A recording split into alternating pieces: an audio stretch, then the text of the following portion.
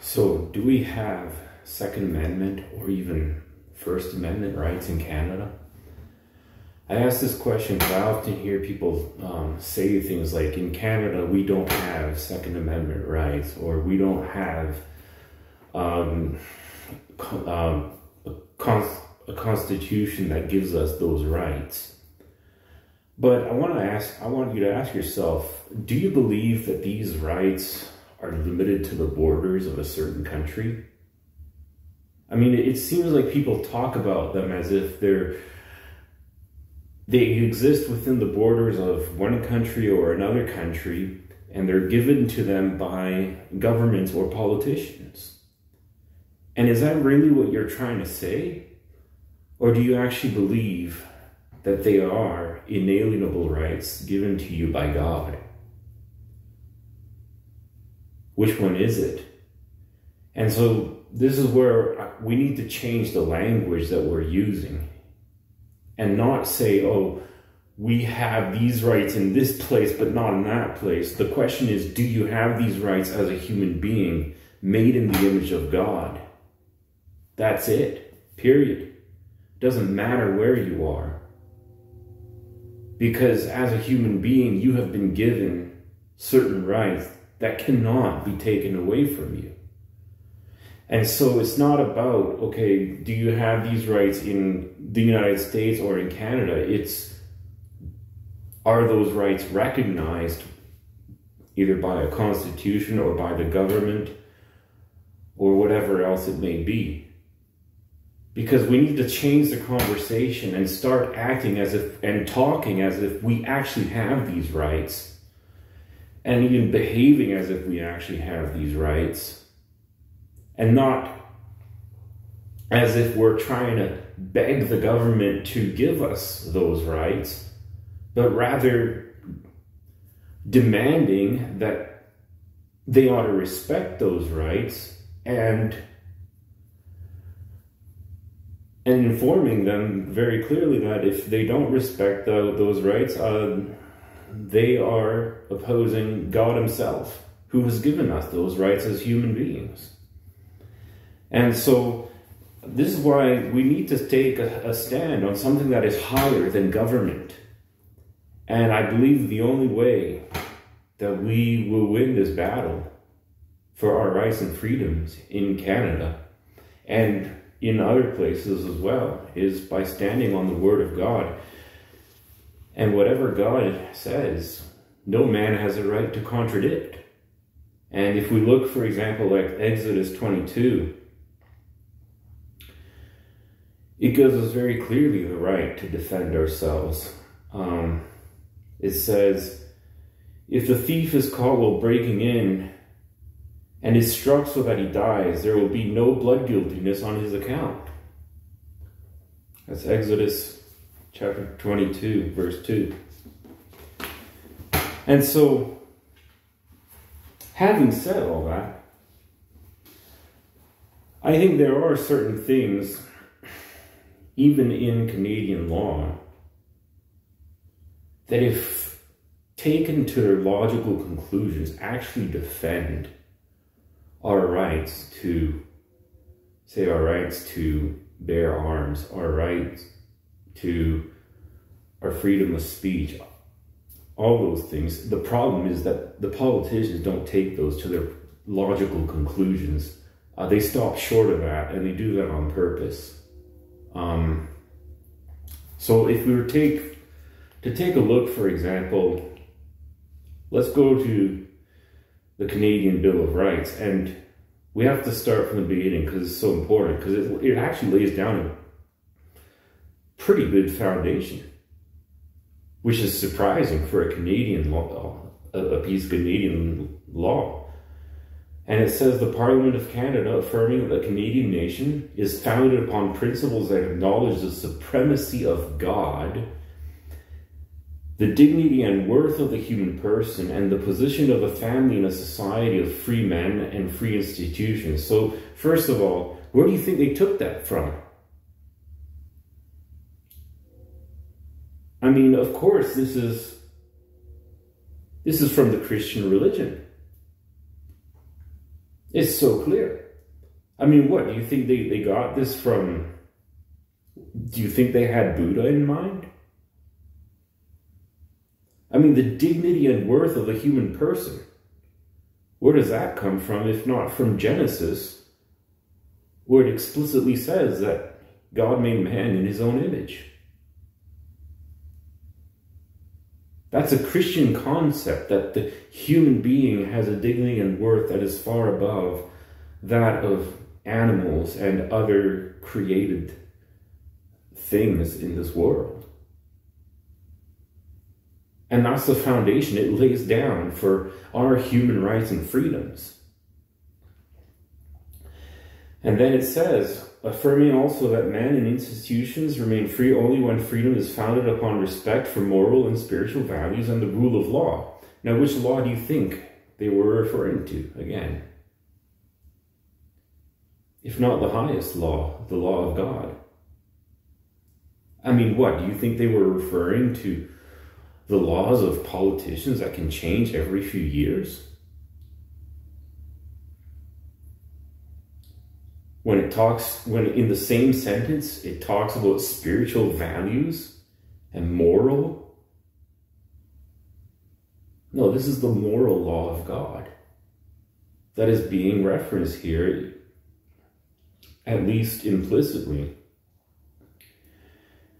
And then it says, being desirous of enshrining these principles and the human rights and fundamental freedoms derived from them in a Bill of Rights we shall reflect the respect of Parliament for its constitutional authority and which shall ensure the protection of these rights and freedoms in Canada, something which unfortunately is not being done these days. These rights are not being respected, they are not being protected, they are not being recognized. And, and so I'm going to skip ahead um, to um,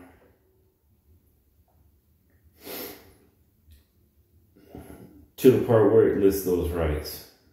The right of the individual to life, liberty, security of the person, enjo- enjoyment of property, and the right not to be deprived thereof except by due process of law. Now, the thing that is absolutely uh, it's just uh, in, I don't even know how to find the right word. It infuriates me. Is how when Canada was going through all the legal battles about abortion, they actually used this security of the person to legalize murdering babies by abortion.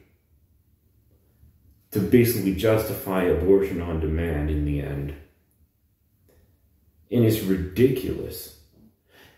Because if you actually take this to its logical conclusion, it actually demands that we protect the preborn. But we can also apply this to things like the right to bear arms. If we have the right to life, then we have what does this look like? Let's say if we are out in the woods and we just want to have a hike and but we know that there's bears almost everywhere in Canada. We could face an attack from something like a bear or a cougar. Okay, if you have the right to life, you have also the right to defend yourself from such an attack from a wild animal. And you don't have the right to have a weapon, like a gun, well, then is your right to life really being respected?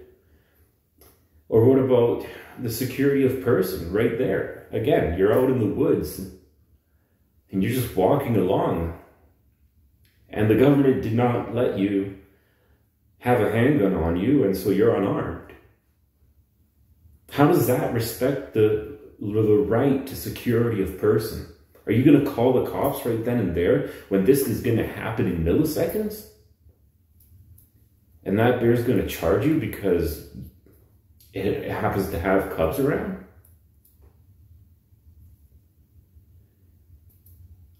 And then not only that, but enjoyment of property. And this this speaks directly to things like gun confiscations. If you have not committed a crime, the government has no right to do that. And again, where does this come from? Comes from the Ten Commandments, which condemns theft. And when the government says that you have to bring back your gun, and of course they lie to you, they tell you they're going to give you back money for it, but they always get that money back through taxes. They just raise the taxes to get that money back. So it, it's, it, they don't respect your property rights. And, um, anyways, and then the right not to be deprived thereof except by due process of law. And of course, again, that's not happening. And what and what the government always wants to do is they want to punish people who have committed no crime for the sins of people who have committed a crime, such as a school shooting or something like that. And again, that's something that the Bible condemns. You do not punish the innocent for the crimes of those who are guilty. That is wrong. And uh, that applies to so many other. I mean, this is again like okay, trying to justify abortion because uh, cases of rape. Well, okay. Instead of punishing the guilty person who deserves the death penalty, you're going to punish the child that is conceived of rape. So now, in, now that you now you have two victims. You have the woman who was raped, but now you're going to tell her that the way to deal with this is to produce another victim and murder the child conceived by rape who who and it's not his or her fault. That's not justice. And and so we we need to start with the right foundations. If we want to have our rights and freedoms respected in Canada. And so I'm going to continue the right of the individual to equality before the law and the protection of the law. Again, this applies to this. If we say that it's wrong to murder and that murderers should at least be in jail, although really they deserve the death penalty after due process, um, if it's wrong to murder one of us, then it's also wrong to murder the smallest of humans, the preborn ch- children. And of course, now it's going insane with the whole MAIDS program where the dignity and life of maybe people who are who the government deems mentally insane or something like that. It, it, it, this is going down a very dark path. This is how Hitler started. Anyways, Uh-huh. if we keep on going, freedom of religion, freedom of speech, freedom of assembly and association, and freedom of the press. And of course, freedom of assembly would require the freedom to travel, because how are you going to assemble if you can't travel?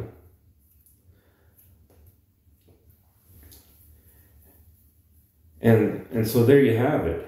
So